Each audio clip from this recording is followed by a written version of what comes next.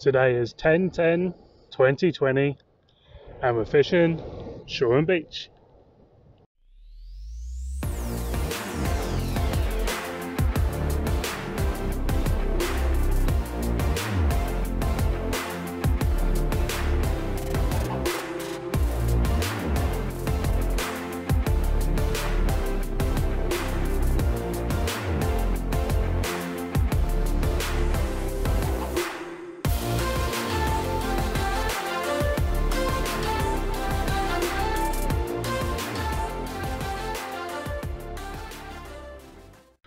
What's going on, people? Finally back out fishing again down Shoreham Beach. Got about two and a half hours to high tide.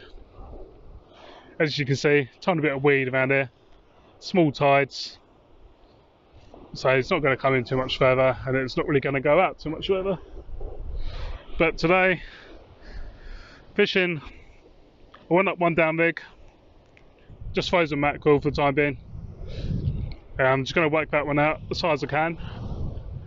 Notice there's a net there and a red marker flag there. So I think it might be the end of the row of nets there because there's some more flags which go that way towards Worthing Way. And I'm guessing they can't go too close to the arm, so I'm guessing they stopped there. So hopefully that won't be too much of an issue. Like I said, bit of weed around here. See a few bits of the weed washed up from the bigger tides.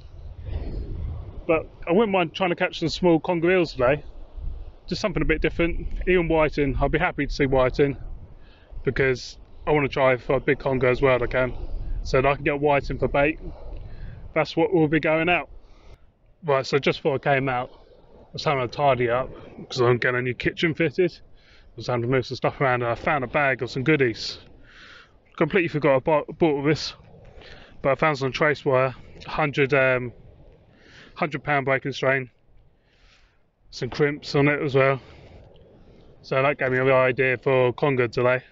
So I'm going to um, make up a trace line. I know it's not ideal. Some people use about 150 pound 1A, but you got trace a wire trace, nothing's breaking that.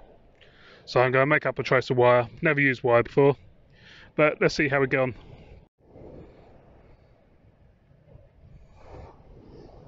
Right, like I said, never done a wire trace before.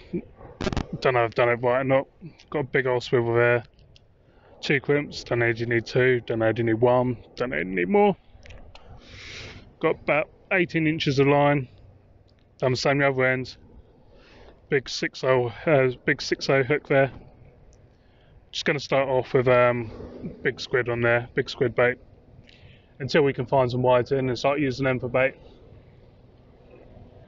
I thought I've seen a couple of little rattles just on the one up, one down rig. Helicopter flying past there. But I'll take that in once I've set this one up and cast it out and see if there's anything about. Right guys, just for the big bait, using a very lazy running ledger. That's my shock leader uh, just got a weight on the swivel there running up and down the shock leader line. Then my 18 inches of wire trace and a whole squid. And then that's just going out as far as I can. You can still see a bit of the weed there. But what I'm going to do is hammer that one out and take in that little bad boy up there. Okay, orange tip rod. We got a fish, bottom hook, Mr. Whiting, and he's going to become bait. Okay, guys, um, now for the bit which some guys don't really like. So look away just for a few seconds. Just gone through the top uh, top uh, lip there. That's how I'm live baiting. Now the hooks. I'm just gonna chuck that one out.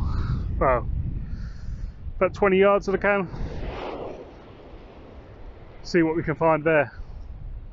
I had a real comical moment setting this shell trapping I'm sitting in. Blooming so windy. My other half used it last, so took the girls to the beach and used it for a sun shelter and left it all clipped up somehow. So I was trying to sort it out, shake the sand off it, and the bag blew about 100 metres down the beach towards the other person fishing and went in the sea. I had my shelter half up, blowing around in the wind. I had to shut down the floor and chuck a load of stones on it, run after my bag to uh, get it get it out of the sea again. Then, nightmare, I was shattered by the time I got back to the shelter. I was half expecting my shelter to blow away as well, so I'm a nightmare. But hey ho, I'm back out fishing. I'm happy. Had a fish already, so first class. Can't complain. That, that whiting's back out there now on the uh, right hand rod. So I've loosened my drag right off just in case a big fish comes along. Could be anything this time of year. You could get congers, you get bass, you get rays, cod. But you know, you don't you don't know what you're to catch until you try. Notice a few little rattles on the orange rod again on the left hand side. So I think that's just to be and white in. But I'm happy. I'm catching fish. Uh, can be out for five six hours today. Got plenty of time to fish today. So yeah, it's going to be a good day.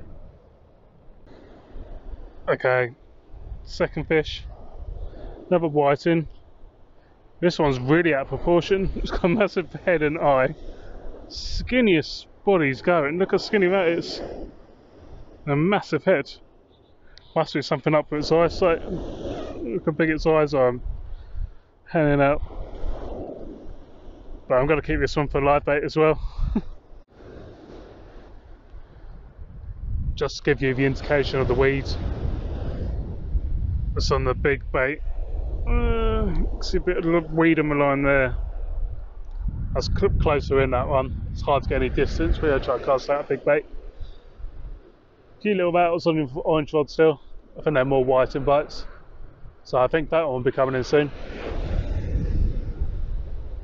Rest of the beach, empty down that end, but really windy. You can see the kite going crazy and how much tension is underneath the shelter. I've got my microphone on, so hopefully the wind quality isn't too bad on the mic. But yeah, I'm just happy to be out. There you go, guys. Another whiting. Only a small one. Just um, showing off my new wellies. £10 Toolstation, bargain. But yeah, that's probably the same size like last whiting but in proportion this time. The other one was just all over the place. Um, nothing on the bottom hook, bit of weed there, but nothing too bad. The weed seems to be close in, so you're winning, doing any close close casts, that's where the weed is. It seems to be catching on the line and pinning it down a bit. That distance doesn't seem too bad. Okay, my orange rod, uh, left hand side there, that's the one I've been using, the one up, one down rig on. It's got weed in the line quite close in. So I'm guessing it's been snagged up and pulled down. But no obvious bites. A few tiny little rattles, but it's probably whiting again. So I'm going to take that one in. White hand rods with uh, whiting on it. It's holding strong. A little rattle from the whiting now and again still. So it's still doing well. But yeah, time to take them left hand rods and see what we got. Nothing that time guys. Been stripped on the top hook. Tiny bit of um, mackerel left on the bottom hook. Had some weed on the ledger knot as well, so I had to pull that off before I could wind it right in. But time to get this one back out again. Gone for a big chunk of squid on the top hook that time. And a bigger chunk of mackerel. See if we can find something a bit different, maybe dogfish. Got about 20 minutes to high tide now. Tide's about 5 metres away from my tripod. Hopefully I won't have to move. Shelter's just here, so hopefully we'll be safe. But let's try and find a different species. Right guys, just taking in the left hand rod. I did previously put some big squid chunks on this one. See a bit of weed in my line, I've noticed the whiting haven't been taking the squid. It's just been the mackerel. Just thought I saw a rattle on the whiting ones. Uh, that's why. See the Wiedemann line there. It's got better since the tide started dropping away. The sun is now officially set. It was a cracking sunset. But now, looks like it's going to tip it down in rain. Thinking about taking my shelter down so it's um, doesn't get soaking wet, so I have to pack away wet gear. And then probably call it a night. Because I'm not 100% sure I've got my torch with me. Really want to be packing away in the dark with no torch. So yeah, might chuck this one back out and then start packing away and see what happens. Right guys, this is the live bait rod. So the Wiedemann line here. Massive pilot there, that's all stuck up the shock leader knot. Bit more towards the weight. And that was the live bait whiting, which has now lost its eye. So that's a goner. so yeah, I'm to chuck that one back. Just hold out with the orange tip rod there. Just see if we can catch any last minute species. And I'm to pack this away. And chuck this away.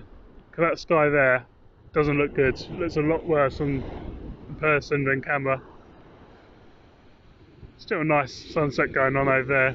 But I've got splits away on my phone now. Right guys, just taking in my last rod. a load of weed around um, the ledger knot again. Squid on both hooks, are untouched. It's weird, the doesn't seem to want to go for the squid for some reason. Um, my other rod, a shock leader knot, I had to um, I had to cut the line. It was so snagged up uh, with weeds, I couldn't untie it, and it, the leader knot was getting so tangled up as well. I just cut it in the end. So I got that to re-put on. Got no head torch and it's almost dark. Um, so yeah, I'm going to rush and pack up. But yeah, you like this video, get a thumbs up. Um, click the bell notification. That way you get notified every time I upload. And if you haven't subscribed, please subscribe. And I'll see you very soon. Thanks for watching guys. See you later.